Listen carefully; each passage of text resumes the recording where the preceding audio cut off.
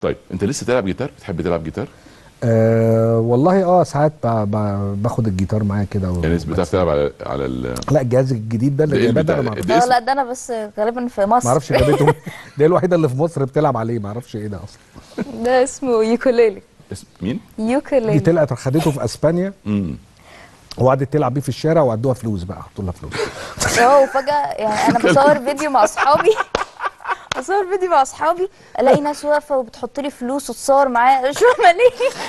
إمتى حصل؟ ده طلع رحلة مع المدرسة. راحت آه. ماسكاه وراحت مصورة في الشارع بقى. قريت الدور بتاعه في مسلسله الجديد بتاع رمضان مع محمد رمضان مسلسل البرنس. لا هو لحد دلوقتي ما كلمناش على الدور قوي بس هو متحمس جدا. هتلعب شخصية قد إيه إيه؟ متحمس. آه إن شاء الله هطلع أخو محمد رمضان. امم ودور بالنسبة لي جديد قوي ومختلف. ومش بس دراما آه، رجوع ليا في الكوميديا تاني. هايل. لو سألتك قلت لك مين البرنس النهارده في الأداء على الشاشة هتقول لي مين؟ أه لا كتير. يعني مش أه في ناس كتير مبدعة. يعني أه أه يعني يعني السنة اللي فاتت عملت مع أحمد السقا في مسلسل حلو قوي. كنت رائع آه. آه، ولد الغلابة. آه. كنت جميل. ومحمد رمضان طبعا عامل كان الأسطورة جامد جدا جدا وعشان كده متحمس ال- الدويتو مع مع المخرج ال- المبدع محمد سامي.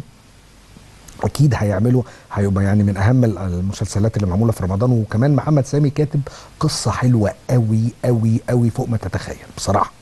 ومحمد رمضان آه، أنا أول مرة أتعامل معاه في, في عملنا بروفا. بصراحة إنسان قد إيه أنا شايفه متواضع وبسيط.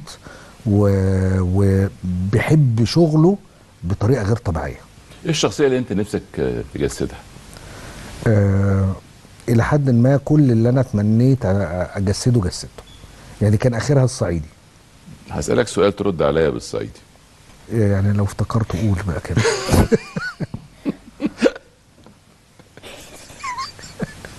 دي الزنقة دي يا عم آه، ده بيذاكر. كان معانا مترجم صعيدي طول الوقت وقاعدين آه. وبتاع. إزاي الصحة؟ إيه يعني عامل عامل إيه أنا دلوقتي جاوب أسهل من كده إيه؟ إزاي الصحة؟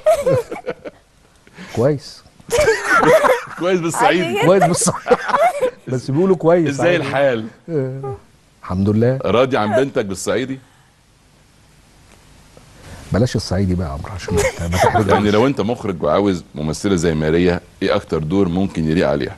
بس عايزك تجيبها الصعيدي. أنا أنا ما عارفش كيف آه، تقدر تمثل الدور ده.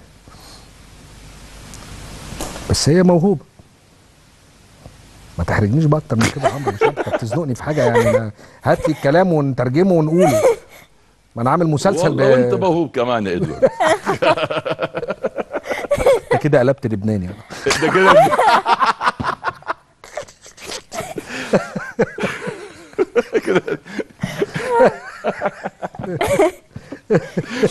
في تاريخك مع الغنى أغاني كتيرة جدا عاشت طبعا في قلوب الناس ووجدانها ومنها أغنية بحبها قوي اللي هي ليندا ليندا. ليندا دي ليندا. أكتر أغنية ممكن نسمعها منك أنت وماري؟